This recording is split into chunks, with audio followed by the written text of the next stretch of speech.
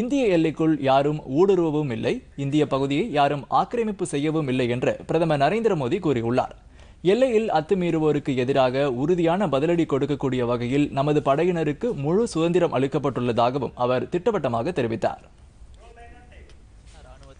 நிலவி வரும் பதற்றம் தொடர்பாக புதுதில்லியில் நேற்று பிரதமர் நரேந்திர மோடி தலைமையில் அனைத்து கட்சி கூட்டம் காணொலி காட்சி மூலம் நடைபெற்றது. இந்த கூட்டத்தில் பேசிய பிரதமர் நமது எல்லையில் ஒரு அங்குலம் இடத்தை கூட விட்டுத்தர மாட்டோம் என்று உறுதிபட தெரிவித்தார். இந்திய எல்லைக்குள் யாரும் ஊடுருவவில்லை யாரும் ஆக்கிரமிப்பு செய்யவும் இல்லை என்று தெரிவித்த அவர் எதிரியின் படைகள் நிலம் வான் கடல் என எந்த வழியாக வந்து தாக்குதல் நடத்தினாலும் அவர்களிடமிருந்து நமது இராணுவ படையினர் நாட்டை பாதுகாப்பார்கள் என்றும் தெரிவித்தார். இந்திய மண்ணில் ஒரு அங்குல இடத்தை கூட யாரும் ஆக்கிரமிக்க முடியாத அளவுக்கு வலிமை மிக்க படைகள் நம்மிடம் உள்ளன என்று தெரிவித்த பிரதமர் நமது படைகளால் ஒரே நேரத்தில் பல முனைகளிலிருந்து தாக்குதல் நடத்த முடியும் என்றார். இதுவரை பல்வேறு வழிகளில் அத்துமீறி ஊடுருவியவர்களை நமது படையினர் தற்போது தடுத்து நிறுத்தி உள்ளனர். மேலும் அவர்களுக்கு எச்சரிக்கையும் விடுத்துள்ளதாக பிரதமர் நரேந்திர மோடி அனைத்து கட்சி தலைவர்களிடம் எடுத்துக் கூறினார். கடந்த சில ஆண்டுகளில் எல்லைகளை பாதுகாப்பதற்காக உள்கட்டமைப்பு வசதிகளை மேம்படுத்த முக்கியத்துவம் அளித்ததையும் பிரதமர் சுட்டிக்காட்டினார். இதற்கு முன் கண்காணிக்கப்படாமல் இருந்த பகுதிகள் தற்போது நமது ராணுவ வீரர்களின் கண்காணிப்பிற்குள் வந்துள்ளன என்றும் அங்கு அத்துமீறுவோருக்கு தக்க பதிலடி கொடுக்கப்பட்டு வருவதாகவும் பிரதமர் குறிப்பிட்டார். நமது பாதுகாப்பு படையினர் மீது ஒட்டுமொத்த தேசமும் முழு நம்பிக்கை வைத்துள்ளது என்று கூறிய அவர் அவர்களுக்கு பின்னால் இந்த தேசமே துணை நிற்கும் என்ற உறுதியை அளிப்பதாகவும் தெரிவித்தார்.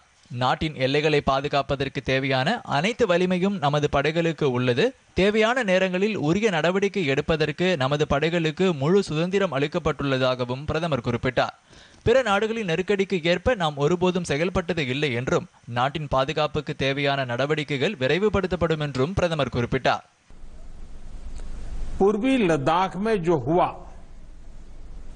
उसको लेकर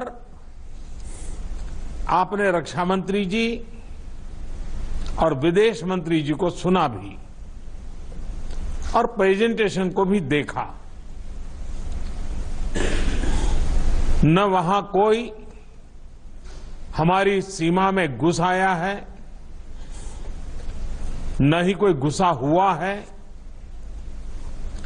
न ही हमारी कोई पोस्ट किसी दूसरे के कब्जे में है।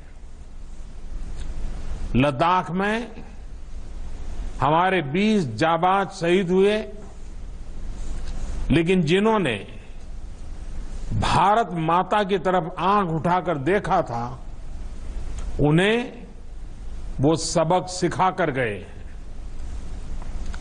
उनका ये शौर्य, ये बलिदान हमेशा हर भारतीय के मन में अमीट रहेगा।